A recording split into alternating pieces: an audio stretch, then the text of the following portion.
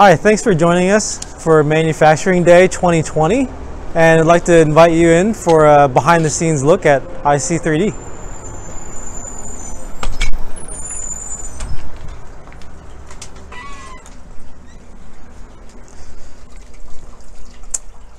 My name is Michael Cao. I'm the founder and CEO of IC3D. And um, what we do here is 3D printing. Uh, there's lots of different types of 3D printing with uh, uh, plastics and metals and food and concrete. What we do is use plastics and polymers. Um, there's also a lot of different types, and we focus on uh, one. It's FFF. It stands for Fused Filament Fabrication. Uh, basically, what we do is we take filament, which looks like weed whacker line. It's just a strand of plastic, and then we feed it through 3D printers and layer by layer they form parts. Uh, little little history of IC3D. Um, we uh, started in 2012. Uh, I founded this in my basement uh, while I was working for a large uh, product design firm and uh, then started playing with 3D printers and over the next few years on the side just kept building machines and making uh, filament. And then eventually we added some partners. We have two partners, Kimberly Gibson and Matt Organiscak. And we started uh, our 3D printing service also. We, uh, in 2016, I'd say we got a lot more serious and we uh, put a lot more effort into business development and planning. And then in 2017, we moved into this space which is about a 10,000 square foot um, warehouse with some office to really uh, launch the company. So it's been about it's been about three years or so. Um, yeah, I'll take you take you further back. This is our lobby area. About a about a quarter of our space is this office here. We try to keep it a little bit more lively than a, than a normal uh, factory or or uh, yeah, try to make it more like a design studio because that's part of what we have to do is to keep uh, open-mindedness and to, to have uh, a lot of creativity to help our customers uh, solve problems. Um, speaking of customers, uh, we mainly serve manu the manufacturing industry um, and, and, various uh, industrial companies. And what we do for them is we make uh, prototypes of course, which is the most popular use of 3D printing, but we also do a lot of things for their factory. Um, we do uh, jigs and fixtures um, and tooling and things like that. And then we also get into low volume production, let's say in the hundreds to tens of thousands for our customers. Um, before we before we go in to the back, where the uh, magic happens, um, this is our mission statement here. It is to expand human potential by making manufacturing accessible to all through 3D printing technologies. So basically, uh, manufacturing to get something made is extremely expensive, right? Uh, there's just a high cost for um, equipment and facilities and, and people and things like that. So ma traditional manufacturing isn't accessible to a lot of people. Um, and even if you go overseas and things, you still have to commit to really high volumes and things like that. So with 3D printing, you can do very low volumes. You can do a high variety or what they call high mix um, for a relatively low, low cost. So it helps people realize a lot more ideas. So we're entering our, our high bay and we call it the room of manifesting. Um, we felt like we needed a new word that combines uh, manufacturing as well as manifesting. It's back there we think of uh, this is manufacturing our manifestations. So welcome. Let's go.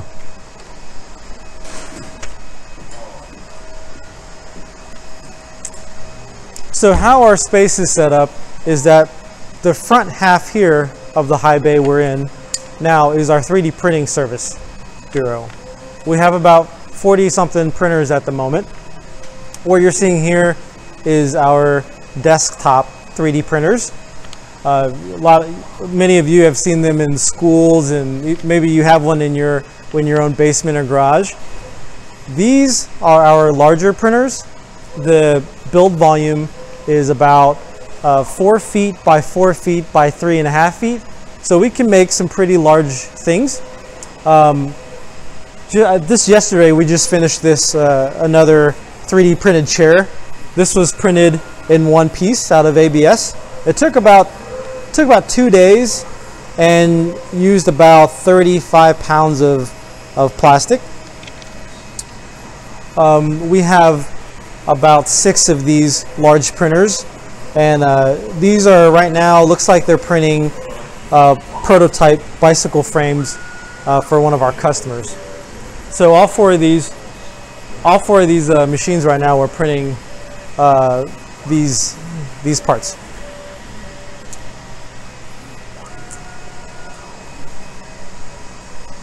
You can take a peek in these. More prototypes for our customers. Um, a little history, a little bit more history about uh, 3D printers in our business. Um, we, as you notice, the desktop printers we purchase um, from another company and then we just modify them to what we need them to do. Uh, about, but about four years ago, we started our 3D printing service by designing and building our own printers. Um, so the, the printers back there on the wall um, next to Nick, you can see, are were designed and built uh, from us for about four, uh, again, four years ago. Um, and then over the years, we've just kept modifying our machines and designing and uh, building bigger and bigger ones. So you just saw what we call the E-class um, machines. And this printer here, uh, it is, I'll say it's yet unnamed, but it, we call it the 700 internally, just because the build volume is 600 by 700 by about 700 millimeters. Uh, this is our first prototype, and it should be done here uh, in the next within the next month or so. Um, but this is our first printer that we're going to sell, uh, and it's an industrial grade medium size printer. It's made from a single weldment and there's it's got dual heads for IDEX printing. So back here, as I mentioned before, is our uh, our filament production area. So that's one nice thing about uh, what we do is with the vertical integration, we can uh, make our own materials to feed our own printers. Give you a second to look at that.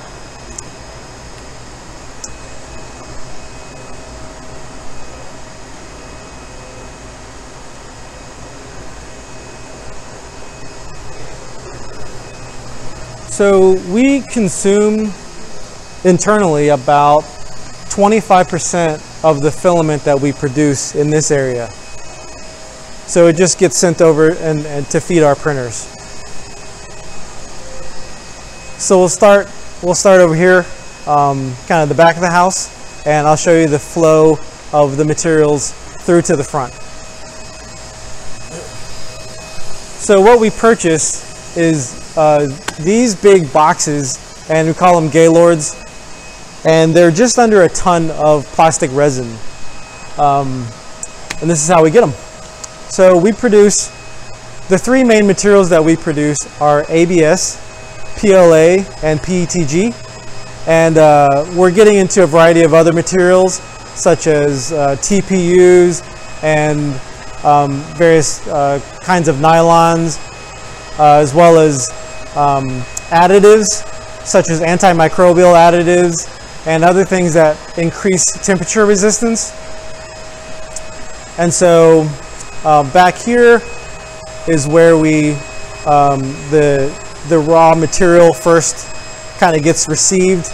And um, I guess we can get, let me see here. Let's get close up.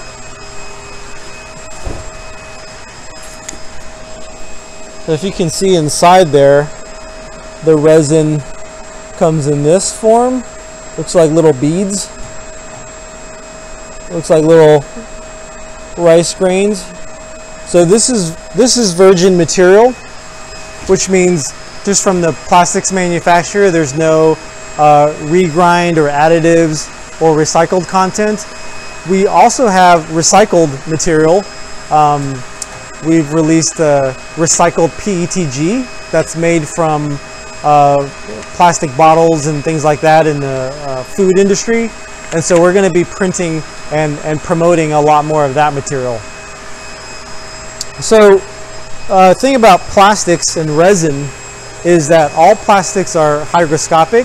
So that means that plastics absorb moisture.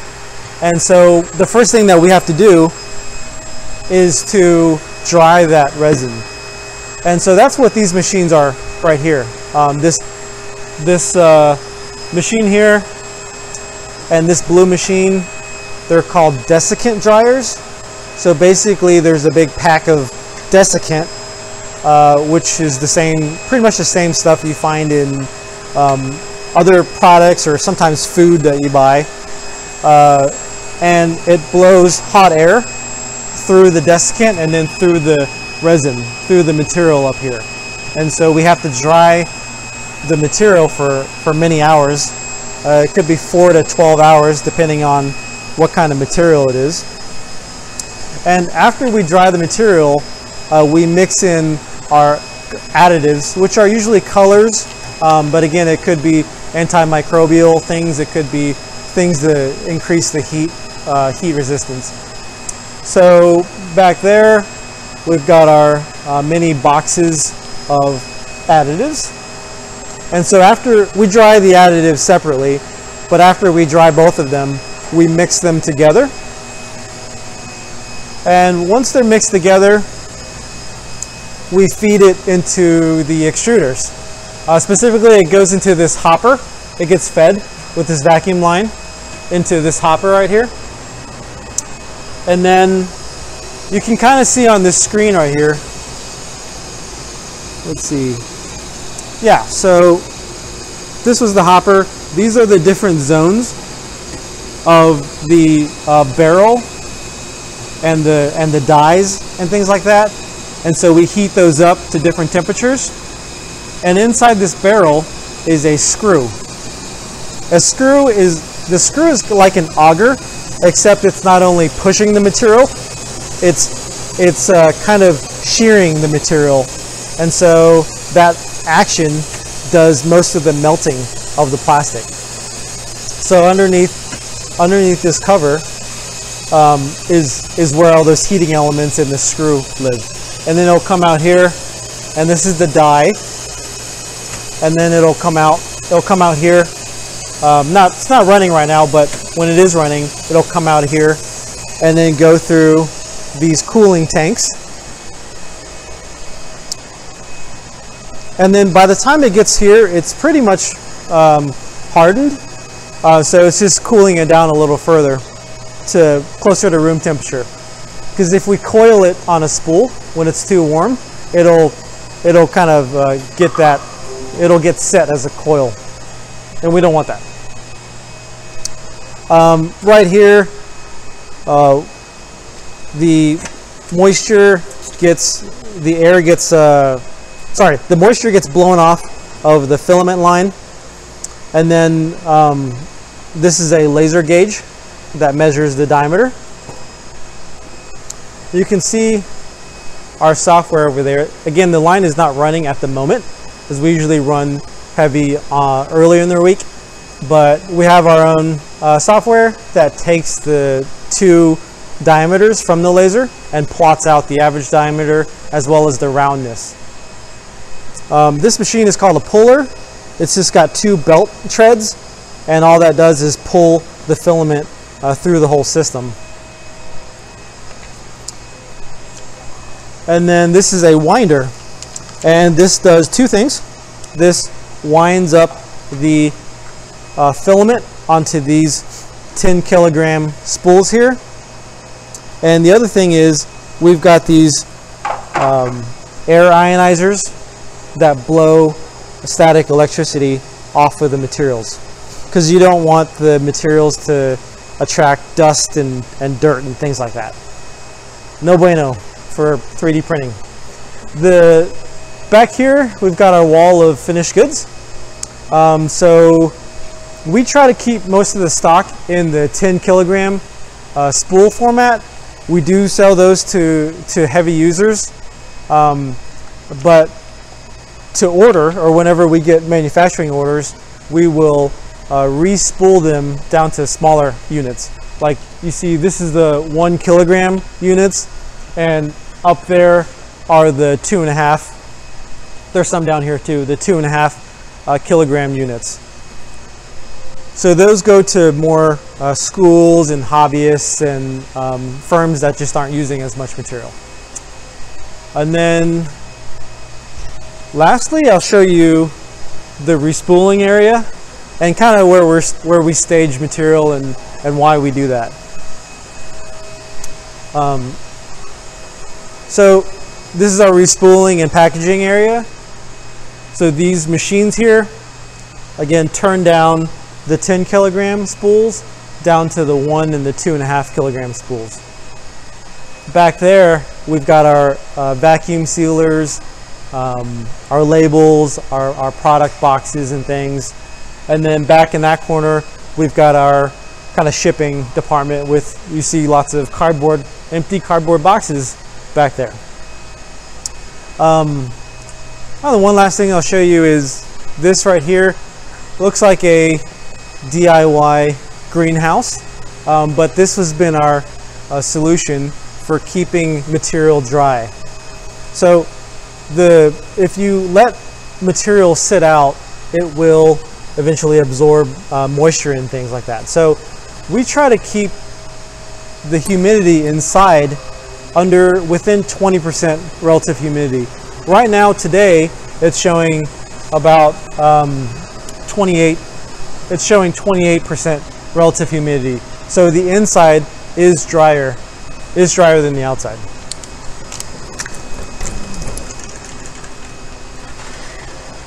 So all this is, again, is a, is a greenhouse and we, we put material in here and we have a, a dehumidifier in the back corner.